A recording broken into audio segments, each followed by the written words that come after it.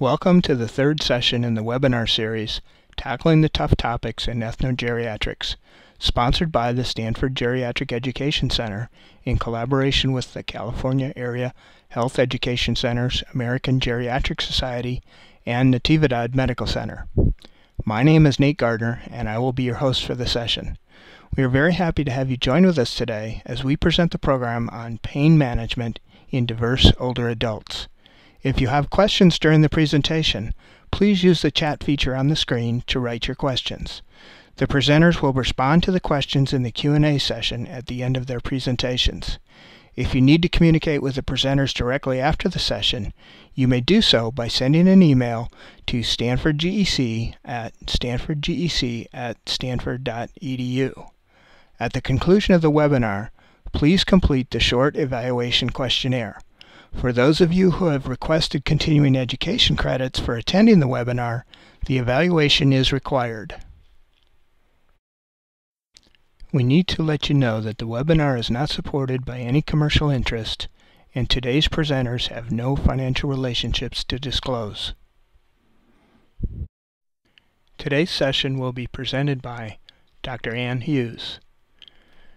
Dr. Hughes is an advanced practice nurse in palliative care at Laguna Honda Hospital and Rehabilitation Center. She has worked for the San Francisco Department of Public Health since 1989, initially as the HIV Disease and Oncology Clinical Nurse Specialist at San Francisco General Hospital Medical Center. She holds a volunteer faculty appointment at UCSF School of Nursing as clinical professor in nursing.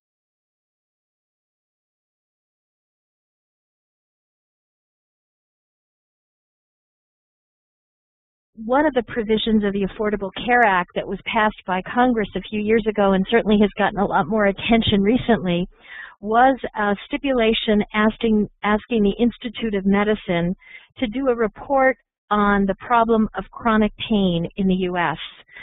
And the report is available uh, online, and I have provided the reference at the end of your material.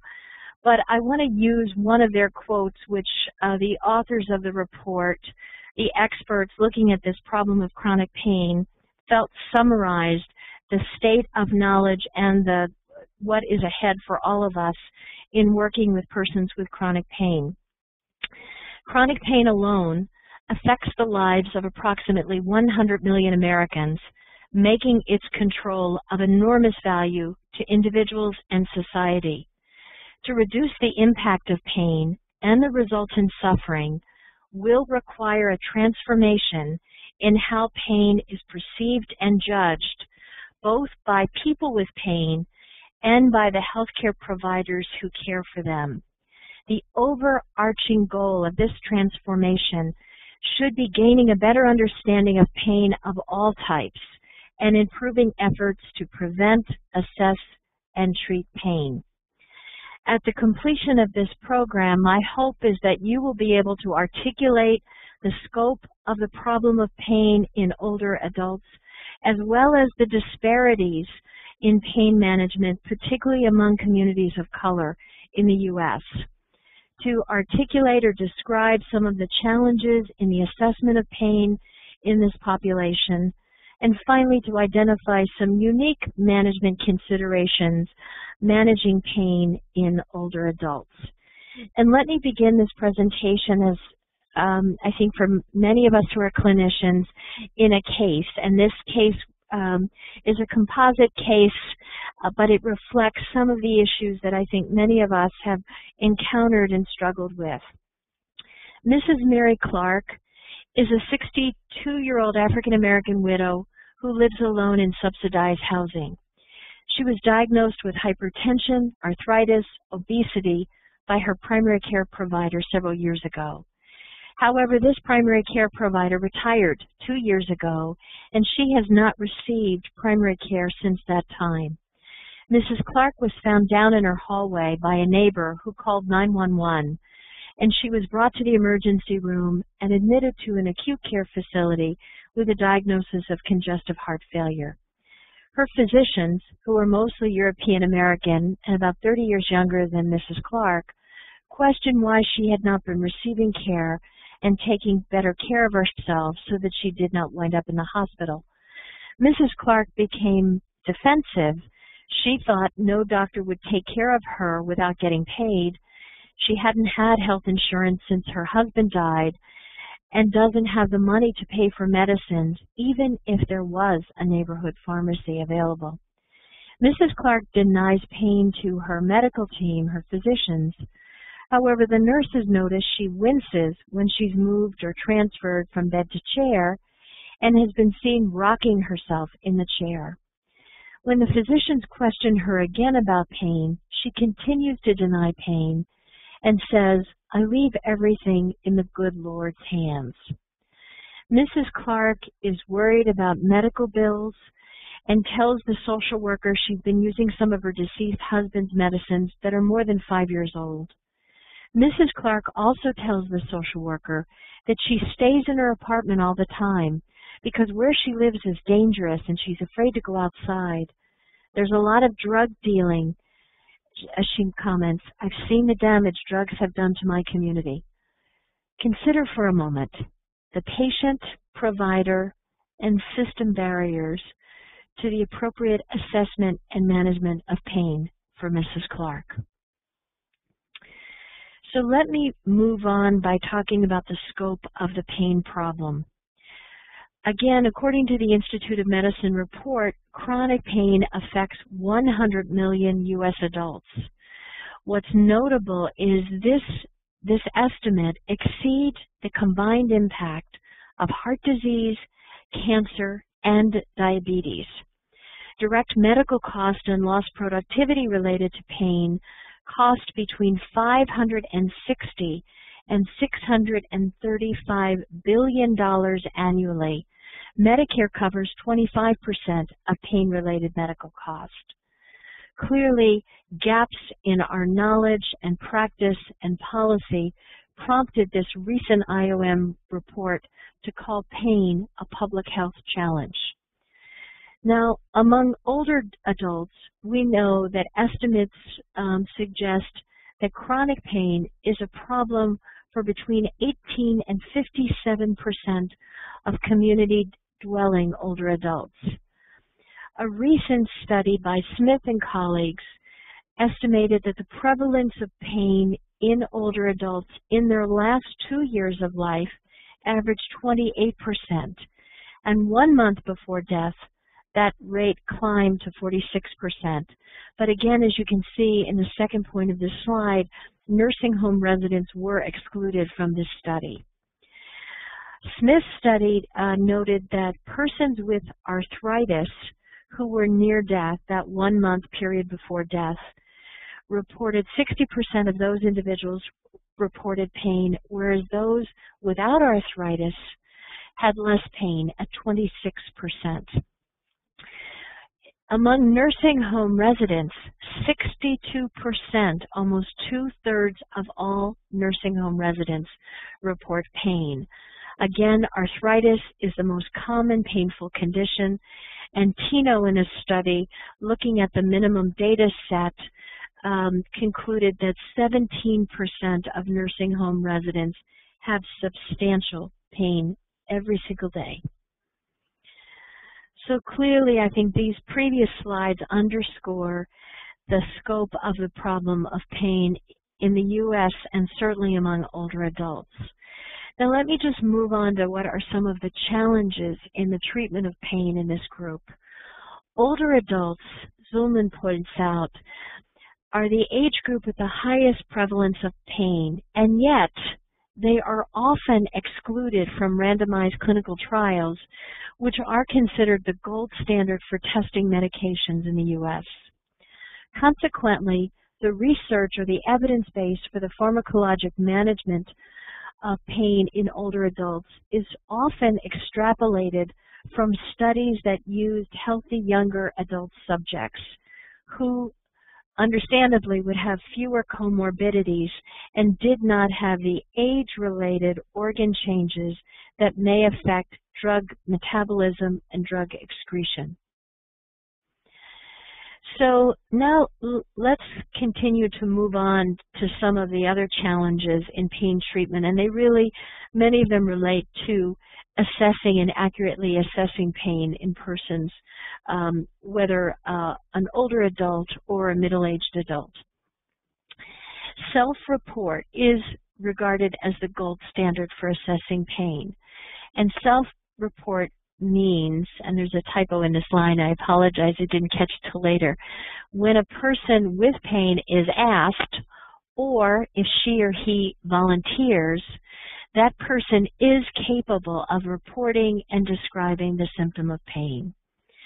There are a number of challenges, however, in assessing pain in older adults, and certainly those who come from um, diverse communities uh, including but not limited to how well is a person able to recognize, to scan for pain, and then communicate his or her pain if they are severely cognitively impaired or have aphasia. Are there language barriers that interfere with a provider's being able to determine or fully assess pain? What words does the person use to describe the symptom of pain? There's been quite a bit, certainly um, in the literature, but, but also in clinical practice, that many adults choose to use different words almost given this severity of pain. So some will use the word hurt, some will use ache, some may even use stitch or sore or discomfort and not sometimes, in, in fact, if asked about pain, may even deny pain if it's asked in that way. What attitudes or beliefs might the older adult hold that interfere with his or her reporting of pain? And if we reflect back again on Mrs. Clark, clearly some of the attitudes and beliefs related to uh, the risk of addiction, the harm associated with these medications. She was uninsured and she was certain that nobody, no provider would want to see her without payment. Now, the next question, which again goes back to Mrs. Clark, when an older adult denies pain and there's compelling behavioral evidence that contradicts that denial, what should the healthcare worker do? Given the pain is self-reported and that's the gold standard, then how do we reconcile when somebody who does have cognitive uh, capacity to communicate and report pain when they're denying pain? Uh, how do we respond to that request? Now, the next challenge um, might be when we are looking at the narrow aspect of pain intensity or severity, which is the most commonly reassessed aspect of pain, intensity or severity is how much does the pain hurt, um, and, and using a pain score of some type to quantify. Um, and many persons, uh, young and old alike, may be challenged by trying to assign a number to a subjective experience on a 0 to 10 rating scale, which is one of the common scales. Now let's move further and talk a moment more about the pain intensity scales, and then we'll move on and speak about a behavioral scale. So uh, again, the most common type of information that is frequently reassessed when someone has pain is using a descriptor. Um, the uh, verbal descriptor is um, are listed here as none, mild, moderate, severe, very severe, or horrible. Um, numeric rating scales are 0 to 10, and 0 is no pain, and 10 is the worst pain imaginable.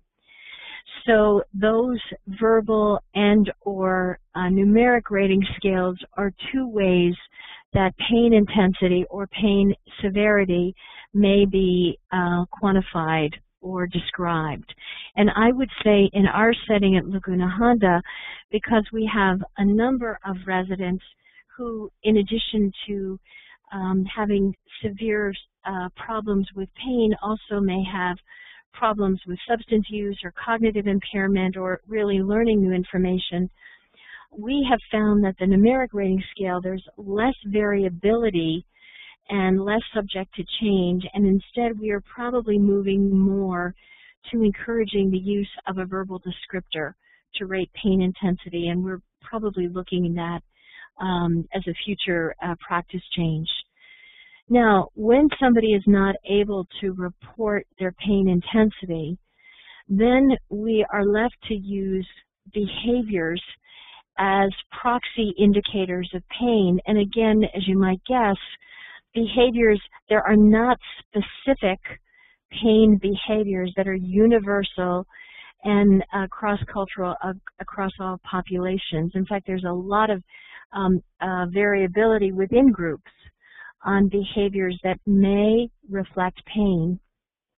Furthermore, some of the behaviors that we often associate with pain, for example, frowning, could well be attributed to a non-pain source of distress. So let me uh, go on the next slide and share with you a description of pain assessment in advanced dementia, the PAINAD. So this particular behavioral pain scale is used for those with cognitive impairment, was tested in a VA population.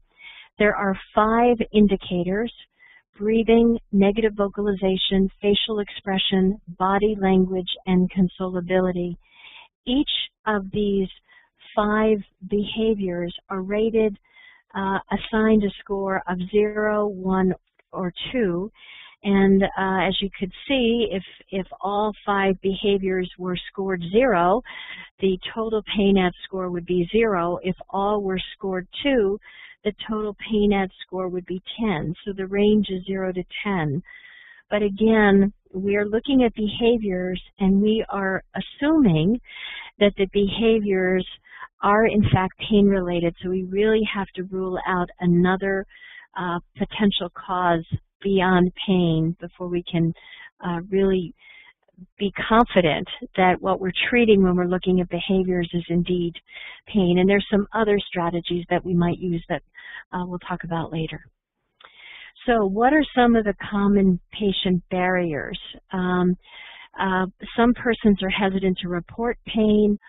Older, uh, many older adults believe pain or suffering is a normal part of aging that is to be endured. And many older adults do not believe that pain can be relieved without troubling and troublesome side effects such as constipation or cognitive changes or without being addicted.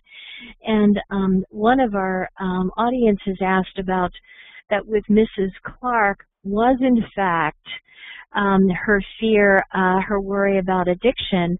And I and I would say that when she made the comment, I've seen the harm that drugs place on my community, that that would suggest to me that her own worry was not only a community worry, but that that harm associated with opioid, the use of opioid, even when it's prescribed, may also apply to her as well.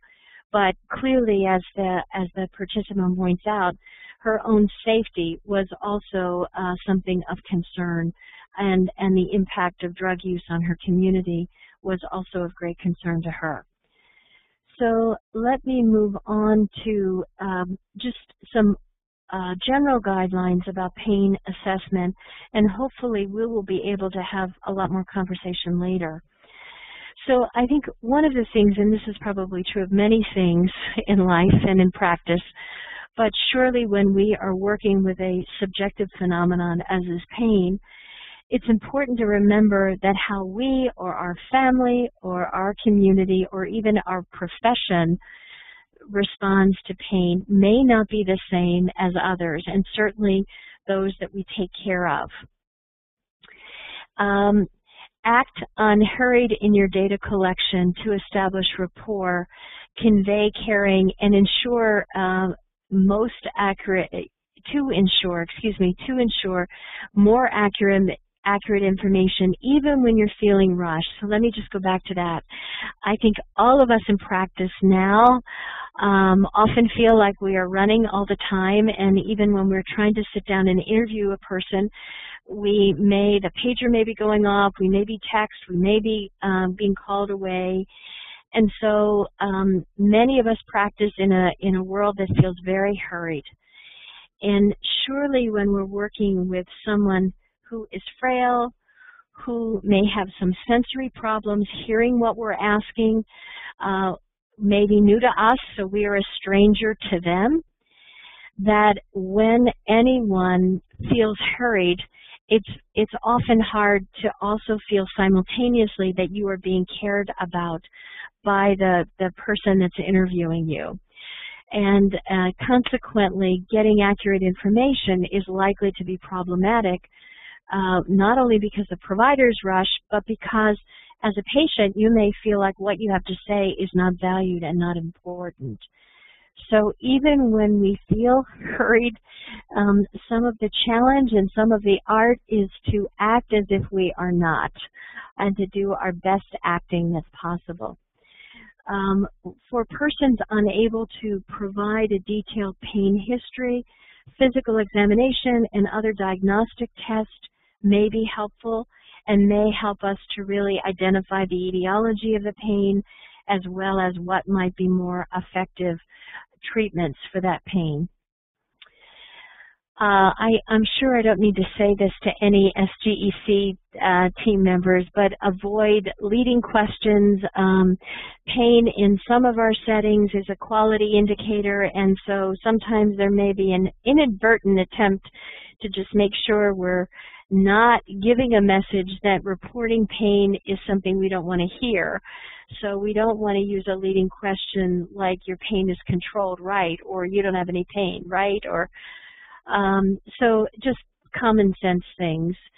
Um, I would say one of the things that's been most effective in my practice, and hopefully um, we can we can hear from others as well when we get to Q and A, is that the importance of the words the person uses to describe this symptom, or for that matter, for any other symptom we're assessing, is really vital. And to use that word in further interviewing. So, for example, if somebody that I'm working with talks about a hurt, then I will ask the location of the hurt, the quality of the hurt, the severity or intensity of the hurt, the impact of the hurt on activities of daily living, the duration or length of time the person's had the hurt, pharmacologic and complementary strategies used to manage the hurt, as well as alleviating and aggravating factors. But you see, repeatedly I'm using their word. And I'll give you um, an, uh, a very powerful example for me for my own practice that underscored the importance of matching words. Um, about a year or so ago, I was working with a woman that had um, inflammatory breast cancer who was in her 80s, and she also had some mild cognitive impairment, really very, very mild. When the, the staff were asking her about pain, and again, in having inflammatory breast cancer, she actually had a lesion on her breast that uh, the tumor had extruded onto the breast tissue and she had a wound that was draining. So just given what we know about uh, solid tumors, the likelihood of having pain was quite notable. When the staff would ask her about pain, she would consistently deny pain. However, one day after witnessing this, um, I had asked her whether she had any hurt in her chest and she nodded her head very, very aggressively. Yes, she had hurt in her chest. So while we were dutifully asking about pain, she was not relating to this symptom or this experience as pain, but instead in her own mind um, had labeled this a hurt in her chest. So matching the person's description is really vital in being able to accurately assess pain. Now, clearly, given the subjectivity of pain, we want to interview everyone who can report their pain. And if at all possible, and we do not speak the language of the person we're interviewing, we want to uh, obtain a medical interpreter to help us to have that conversation, to help us have that assessment. A number of years ago, uh, Margo McCaffery and Chris Pasero had reported that some monolingual Chinese persons who are able to read Chinese characters may do better in reporting their pain intensity if the scale is displayed vertically, reading up and down, as opposed to horizontally displayed, reading from left to right. Um, in all honesty, I haven't asked uh, our interpreters whether or not they believe that's accurate, but but uh, our our own pain scale at Laguna Honda is uh, vertical, and so I guess almost uh, we have intuitively done that, or conscientiously, I would hope, had done that anyway. Now, um, another aspect we want to look at is really very, very important, and this certainly gets to some of the barriers uh, about pain. What is the meaning of the pain and the hopes and concerns about pain management? So um, I think the, the meaning of pain, particularly if somebody has a progressive or life-limiting illness, can be quite profound. If I report more pain, does that mean my tumor is back? Does that mean I'm going to die? Um, if, um, in addition, to look at the hopes and concerns of um, uh, pain management and um, what are the expectations and hopes of the person eliciting pain. Now, while we're on this, I want to go to two comments um, by one of our other participants, which was, I think, either perhaps asking or maybe stating, are there differences in pain assessment based on gender? And I think um, that uh, there certainly have been some reports that women are more comfortable reporting pain. Um, and I think that there may be some pain scales. Uh, certainly, um, if anyone's ever used the FACES pain scale, there is data uh, in one of the versions of the, the FACES pain scale, excuse me, the worst pain is reported um, and displayed by the face of someone crying with tears coming down. And there is some data that men, um, some men would be he very hesitant to endorse a symbol like that with tears. Um, but I, I, would say overall, as probably this participant is um, reminding me very well, there is some, certainly there's been some literature that says women tend to be uh, more at ease reporting pain. Um, and there certainly is, and while this wasn't the question about pain assessment, but there is some um, literature that I'm not really going to address today about some pharmacologic differences based on gender as well. So I want to move on now to the topic of disparities um, in the treatment of pain. And here I would refer you to a now I guess, nine-year-old report by the Institute of Medicine on unequal treatment, confronting racial and ethnic disparities in healthcare. When uh, presenting, and this I think this these uh, study came from an emergency room um, sample, when um, African American, Hispanic patients and white patients who had the same long bone fracture were compared, the communities of color received less analgesia than white, white patients for the same injury. Uh, similarly, African American nursing home residents with cancer were less likely to receive pain treatment comparable to that of white patients in nursing homes with cancer. Minority outpatients with cancer received less treatment when cared for at a setting that cared for primarily communities of color than when they received uh, care at settings that mostly served white patients. So the treatment plan and the treatments offered varied whether they were going to a care site that primarily cared for persons of color compared to a care site that primarily cared for white patients. Minority outpatients with cancer received less analgesia than white patients and the severity of their pain was underestimated by their physicians compared to the physician's estimate of white patients with cancer's pain. For post-op patients receiving patient-controlled analgesia, and that's usually an intravenous pump where the patient is able to self-dose um, a dose of, of an opioid, uh, primarily an opioid medication, Hispanics and Asians actually had less medication prescribed than Caucasians and African Americans. So clearly some differences.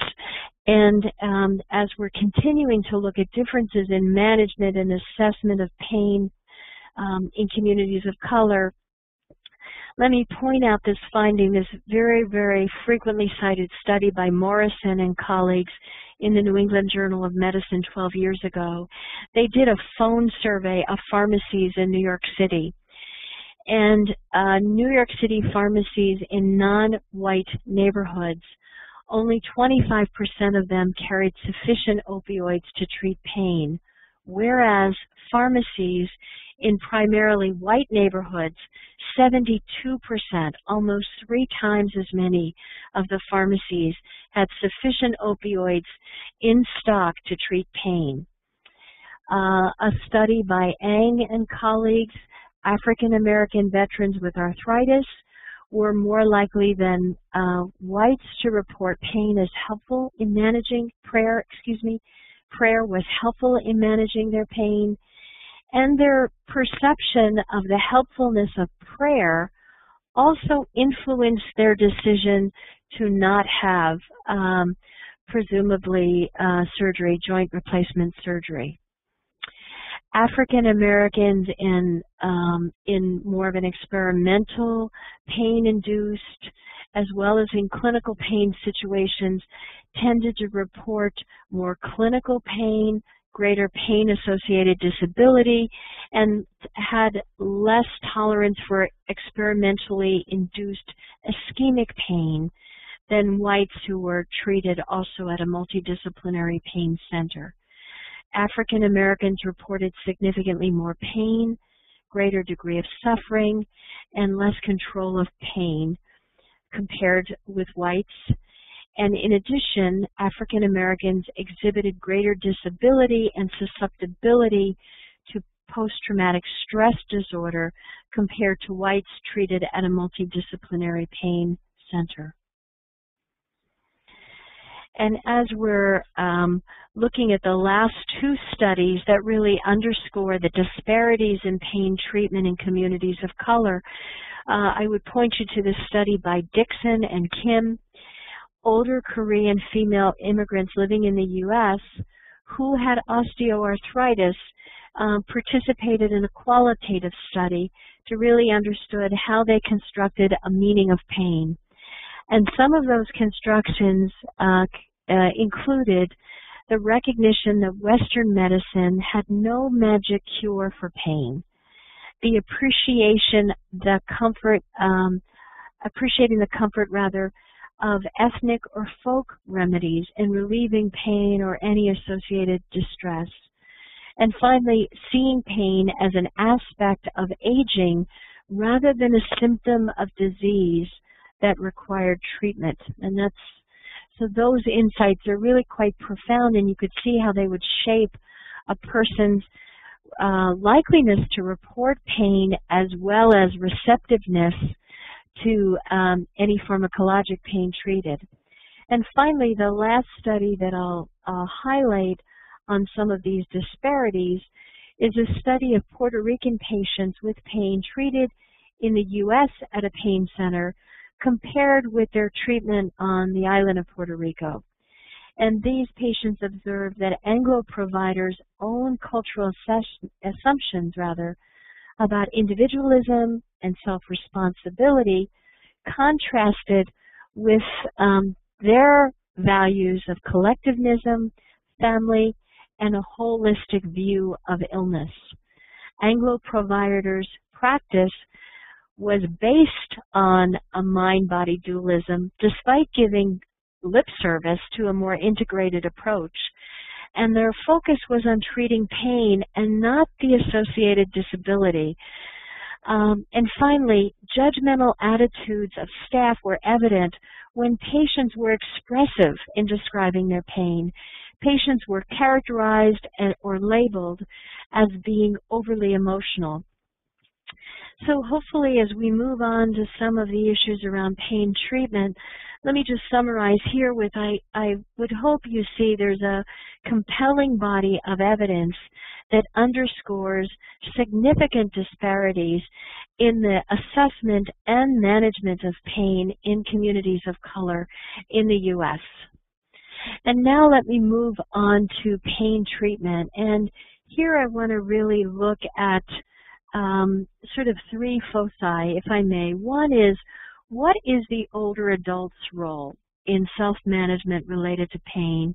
And then what's the role of medications? And, um, and really, uh, finally, what are some of the non-pharmacologic or complementary interventions? So um, clearly, the person who has pain, what is their expectation both about relief, but also what is the meaning of pain and their hopes and concerns about pain. Um, that's critical so that together with healthcare providers, really a realistic and uh, patient-appropriate goals for the treatment of pain can be set. Um, I think now increasingly, and those of you that may have seen the report from the Centers for Disease Control last week or the week after, um, concerned about prescription um, deaths associated with the use of opioids for the treatment of pain. I think uh, we recognize while historically there's been significant undertreatment and under-recognition of pain, medications are not without risk. And so when we use opioids in particular, um, we really need to make sure that the, the person living with pain gives consent and appreciates the risk and the benefits of these medications for non-malignant uh, persistent pain. And that to have a strategy for monitoring adherence and misuse. I think one of the things, particularly people that have chronic pain, um, and if they've ever sort of shopped around for physicians, um, they may have multiple prescribers. And so really monitoring pain and who's prescribing and how much um, needs also to be part of the treatment plan. Given that arthritis is such a common uh, cause of pain in older adults, physical uh, modalities and exercise, for some heat, uh, more often heat. Uh, some older uh, patients that I've worked with tend to avoid cold uh, if they're already cold sensitive. Uh, warm tub baths, swimming, uh, all of these things can be very, very helpful for musculoskeletal pain. And I think we certainly, some of the work in Stanford on self-management of pain um, really underscores um, the importance of using exercise and other modalities in addition to medications. Um, many persons benefit and already have a meditation practice or a spiritual faith that brings them comfort when they are experiencing pain or other sorts of distress. Massage, yoga, tai chi, music therapy, uh, animal therapy, there are, you know, certainly other approaches as well um, that, that have been used. And in addition, obviously, we always want to incorporate what is the person, their family, or their cultural comfort measures. I know in my own family, growing up, whenever we weren't feeling well, tea and toast was um, the treatment. And so I think even to this day, I find myself when I'm not feeling well being drawn to that as a treatment plan. Now, I'm not going to spend a lot of time, but certainly in Q&A we can talk more about the medications. But I'll just make some general comments about the medications. But again, we can certainly talk about this more in uh, questions and answers, or please, any of your experiences, uh, do bring them forward, and I'll repeat the question for everyone. So um, there are three classifications of medications that are typically used as analgesics the non-opioid analgesics, and that's acetaminophen or Tylenol, aspirin, and then other non-steroidal anti-inflammatory drugs. And many of these are over-the-counter, OTC, and many may be already in combination um, with caffeine and other products and available over the counter from the pharmacy. Um, probably for, and, and the American Geriatric Society does recommend that for mild to moderate pain, we would want to use acetaminophen on a scheduled basis. Um, and, and certainly over time, we are certainly mindful of the potential liver toxicity with acetaminophen, so we would always be balancing out risk and benefit of any agent. Um, but before I move on to opioids, let me do say something about nonsteroidal anti-inflammatories. There's a, a, lot of literature really talking about the potential risk of these agents, and I would say their use in older adults really um, needs to be critically viewed, and, and I'm sure is, but um, some of the older adults that I've worked with when they were in the community would be taking these over the counter, and that th there's um, concerns about gastritis, inflammation of the stomach, uh, certainly bleeding risk have been associated. Uh, we saw a few years ago the risk of some of the um, cardiac effects with the COX-2 inhibitors. Um, so these class of medicines are not without risk. Now, opioids, or uh, in the old days, I used to refer to this as narcotics, but now we tend to use the term opioids for prescribed um, medications for pain. They are uh, frequently in combination with non-opioid agents, and some of the most common are listed on the slide in front of you. Vicodin or Percocet, also Tylenol with codeine, uh, or Norco or other uh, opioids in combination with non-opioids. Um, and then opioids um, and actually easier to manage from a clinical perspective would be when they are plain and not in combination. Um, and those include, you know, the whole list of of controlled substances: codeine, oxycodone, um, morphine, hydro, hydromorphone, which is also called Dilaudid, fentanyl, and methadone. So all of those uh, opioid agonist agents are often used and, and can be safely used in older adults at the right dose, uh, at the right frequency when indicated. Um, and then co-analgesics, uh, we used to call this term adjuvants. It's still used sometimes. These are medications whose their primary FDA indication is not pain, but another indication, but they also have uh, use and they have been authorized for use uh, as an adjuvant for pain. So while they may initially have been labeled for the treatment of depression or the treatment of seizure disorder, they have been modified and often pain has been added to that initial indication. So uh, clearly, I think for individuals with nerve-related pain and neuropathic pain for many, many years, the drug that drug class used most often were the tricyclic antidepressants, and those were tested in multiple clinical trials. Um, now, because of the side effect profile, we tend to use those classifications less, the tricyclics, but there are other antidepressants um, that we use for the treatment of pain as well as anti-epileptic or anti-seizure medicines. So those are the three classes of medications. Now, um, just a few words about scheduling of medications. So when a person has persistent pain, they need schedule or round-the-clock scheduling of medications. Um, uh, many people think that if they just take a dose one day and then they take another dose another day, but their pain persists, that somehow or other they're they're limiting or restricting their their pain medication use, but actually what they're often doing is living with more pain and not having the benefit of control, which does have a lot of negative, unrelieved pain has a lot of negative impact not on uh, only on quality of life, uh, but also uh, functional status and, and other things. So around the clock or scheduled dosing of pain medication for persistent pain. Now let me give you one caveat, having said that somewhat authoritatively.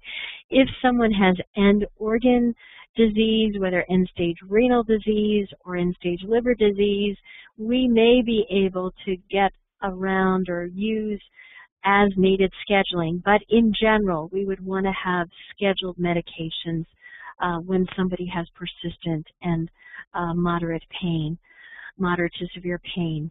PRN or as needed medications are often ordered if the person has a lot of pain that breaks through the scheduled uh, pain medication or has incident particular um, situations that provoke pain, whether it's um, um, getting out of, you know, standing from a particular, from chair to standing or um, some particular exercise routine that almost always elicits pain initially, then we might use as needed even before that incident occurs as a preventive strategy.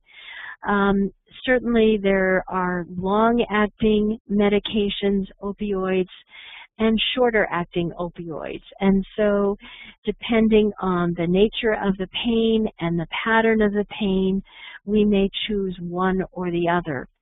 When someone's in the community, if their pain is fairly well addressed, then most often we would use a longer acting opioid if they have moderate to severe pain because the, the burden and the of remembering to take you know several doses is decreased uh, with longer acting agents. We have many, many routes of administration, and I didn't put the parenteral or the IM or the IV route, but um, that's obviously another route of medication if someone needs it, but by mouth is preferred. Uh, oral route, um, there are also medications available as transdermal or skin patches, and the most common that come to mind are Lidoderm, which is a um, anesthetic, a co-analgesic that may be used as a numbing agent for post-herpetic neuralgia, um, as well as fentanyl is another transdermal patch. Suppositories are available if a person's not able to take medications by mouth. There are other topical agents that we would apply as an ointment or cream or jelly on the skin. And then uh, the one route of administration that I didn't include was parenteral or eye intramuscular, intravenous, or subcutaneously, any of the, the routes that would require an injection. And then with all medications with older adults, uh, side effect monitoring um, and looking for any potential adverse drug reactions are critical, critical aspects as well. Let me move on then um, to what are some of the complementary or non-pharmacologic, uh, and I'm at least I'm I'm not sure if your slide was cut off, but I'll just go through those just in case they it may have been. Obviously, rehabilitation therapies uh, for exercises, adaptive devices, um, even modifying how ADLs, activities of daily living, are performed to minimize joint strain or tension, uh, to to use splints or whatever other devices might stabilize a joint. Cognitive behavioral therapy certainly has been well tested in the treatment of chronic persistent pain. Um, massage, Feldenkrais, some of the other uh, other energy work, Reiki, therapeutic touch, yoga, Tai Chi, music therapy, aromatherapy, meditation practices, swimming, walking programs. So many, many both physical, energetic, cognitive behavioral, as as well as uh, sort of, if you will, spiritual interventions and movement-related interventions that may be helpful when somebody is living with pain. And finally, let me conclude with just some um, summary comments, and then hopefully if there's any other questions or comments, we can have a discussion. Uh, surely older adults from diverse communities are at high risk for under-recognition and the under-treatment of pain. Under-treatment of pain has significant adverse consequences to physical and psychosocial well-being. And pain management almost always requires both non-pharmacologic uh, or complementary interventions and pharmacologic interventions, as well as the person's self-management when appropriate. There are some older adults that will not have the ability to be as engaged in self-management, but whenever possible, um, really encouraging self-engagement and self-management as uh, as an additional uh, part of the treatment plan is really critical. I have included in this slide presentation some other resources from the web, from the Joint Commission Facts About Pain, the National Comprehensive Cancer Network, sorry for that typo. Uh, these are adult cancer patient uh, pain management guidelines. They're available on the web. The American Geriatric Society's recommendation in 2009 about medications, and particularly that guideline was the one that was looking at some of the COX-2 inhibitors, the nonsteroidal anti-inflammatory, um, as, well as other medications in older adults. The American Pain Society has uh, a dated, but it does have a guideline on the management of osteoarthritis, rheumatoid arthritis, and juvenile chronic arthritis. And then the, re the uh, references are included as well um, uh, for your information. So with that, let me uh, just stop and see what comments or questions there may be. Thank you, Dr. Hughes. We actually do have a question lined up. Folks, um, uh, please use the uh, chat feature located on the uh, right side of your screen uh, to ask questions. Our first question, uh, what natural remedies are used most commonly in older adults and with what precautions? And natural remedies, would that be like folk remedies that we're thinking of? I would say heat would be used a lot. If you're looking at um, natural remedies, I'm not quite sure. Can the caller just tell me a little more about what, what you mean by natural remedies? Um, why don't we move on to uh, the next question while okay. that's being formulated. Okay. How does how does polypharmacy and the interaction of different drugs challenge pain management? What are some solutions? Oh, it's huge. Uh, the uh, question obviously reflects a very, very knowledgeable questioner. That is a, a major issue. Um, polypharmacy in general in older adults. I think um, I would say that the greatest risk is when, for community-dwelling older adults, if they're using a lot of over-the-counter medications and they have an acetaminophen component in them, and they're taking different products that have acetaminophen, they certainly can get a toxic uh, dose of acetaminophen, which is recommended to be no more than four grams a day. Um, so it's very easy if someone were to take, for example, um, 10 extra strength Tylenols to exceed that and cause significant or have significant risk of liver damage. So I would say in the over-the-counter medications, that's certainly a risk, as well as you may recall that I mentioned that uh, many of the opioids are in combination. Excuse me. And that's a challenge because while um, really there are very few upper limits of opioids dosing, which may be a surprise, and I can even give you a case example of one that underscores that. There are upper limits of the non-opioid component. So, um, for example, the um, uh, Percocet, uh, which has 5 milligrams of oxycodone and 325 milligrams of acetaminophen. So if the person was to take 16 of the uh, Percocet tablets in a 24-hour period, and particularly if they are just in such significant distress and they are not monitoring uh, how much medication they're taking, they quickly could get into uh, having significant um, risk of hepatotoxicity. So, I mean, those are some of the issues. Now we have a few of the chat comments, so maybe I'll just start with those. so let's see. Uh, oh, wow, this is great, this chat. Okay, let me read these. Do you know of any pain assessment instruments that have been tra uh, translated into languages other than Chinese? Yes, the Brief Pain Inventory, um, which is affectionately abbreviated the BPI, has been translated into multiple languages, and that's probably singularly the most frequently used instrument to assess pain in more of a research setting, but it's the brief pain inventory and it was developed by a psychologist, Dr. Charles Cleeland, and he's now, I think, still at the MD Anderson Cancer Center. And if you Google him and go to their symptom management, you can also find about the BPI and all the other instruments, and they have good psychometrics as well. Okay, so I think we've already covered the question from Terry about polypharmacy. Now, what we didn't cover are what are some of the solutions.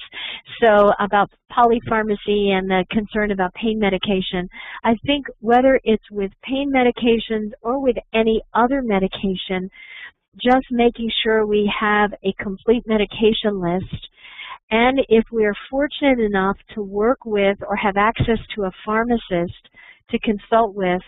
Um, I am really blessed at Laguna Honda. I work with some fantastic clinical pharmacists who can help us look at things.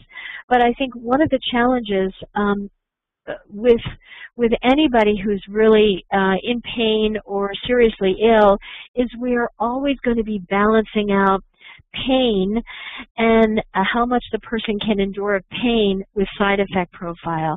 And this isn't just limited to pain. So sometimes we really, you know, that's why we need to really think about an informed consent process for older adults so that we can uh, find out what their goals are, and I would recommend, this isn't uh, responsive to that question, but I would just as an aside recommend more functional goals as uh, opposed to more pain intensity goals. So I wish I had better solutions for you, Terry, on that. So um, let's see, another question from Kala. Uh, have you assessed Buddhist elders who chose to experience even severe pain for the sake of addressing karma for themselves and or their children? The answer is yes. And I think um, in those situations when Buddhist elders, but also some others who had other faith beliefs or other sometimes very strong concerns about opioid uh, risk and addiction, even with information, the approach that I have taken has been to make sure that I've informed the patient and their family that these treatments are available, that um, there may be some risk associated with untreated pain, and we do actually have some studies that say, particularly for um, for cancer-related diagnoses, people that have severe pain, actually their length of survival um, in animal studies, rather, uh, is shorter. So I want to make sure that I've educated or counseled the person, but assuming that I've addressed their questions and they are making this decision, and it's um, then then obviously I would need to to honor that decision. Uh, let's see. A little concerned uh, I am just a little concerned about the emphasis on pain management in care settings uh, versus the combo treatment plan you just referred, non-pharmacologic but plus pharmacological. I would like to see more emph emphasis on the value of non-pharmacological intervention to manage a difficult behavior that may, well may be caused by pain. Um, uh, and managed by kind words. Also, my, okay, so let's just stop for a moment. This is great. This, um, who's sending this in? This is Mariana. Um, so clearly, um, while, and obviously as a nurse and an advanced practice nurse, I do think about medications, but I think Mariana underscores really we want to not, maybe first and foremost, we should privilege non-pharmacologic or complementary approaches and then use medications uh, when those are no longer helpful. And I think the point she makes about kindness and human relationships are really, really uh, important. also, uh, my family members report pain because it is stuck in her brain that has dementia. So um, I think, uh, obviously, in the interest of time, we didn't talk about emotional pain or spiritual pain. And really, um, when we're talking about any human being who's endured pain, physical pain for a while, we often see as an attendant problem depression and certainly sometimes some spiritual distress or angst. So all of those issues need to be addressed. Um, and and really how we frame the question as our our comment is really very very important. Um, the the comment by Marianne is that medication is the easy answer for staff, but it doesn't solve the issues but complicates them. And that certainly can be true, that uh, it's easier, for example, to give um, a medication than it would be to sit down and do a massage or to uh, all of those other kind of things. So I think she, the points she makes are, are really, really important for all of us to consider. I'm going to add the next question. Um, from Shervovsky, is there any way that this information can be given to patients before they get to an older age, maybe around 55 years or older? Um, I would say yes. I think uh, increasingly as people are going online, as they're Googling, as they're, um, and we know the pain is a common problem as we get older, I would think that, you know, hopefully we will figure out ways to, um, with this IOM report, usually when the Institute of Medicine releases a report, they also try to find a public campaign for education, and I do believe in the IOM report that is part of the strategy. Let's see, uh, I'm just going to take one more question before we wrap up.